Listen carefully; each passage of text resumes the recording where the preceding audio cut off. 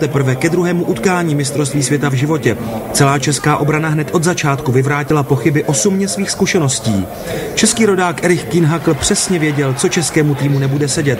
Náš tým zakončoval své těžce vydřené šance jen dotyčí. Blafákem zazvonil Vlach, po něm bombou Reichl. V polovině utkání se při přesilovce trefil Mirko Lideman.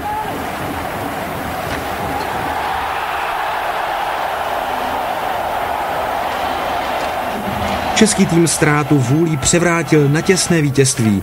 Vojtkův pas napříč obranou našel Martina Procházku. Nově sestavená Paterova řada vstoupila do svého životního turnaje.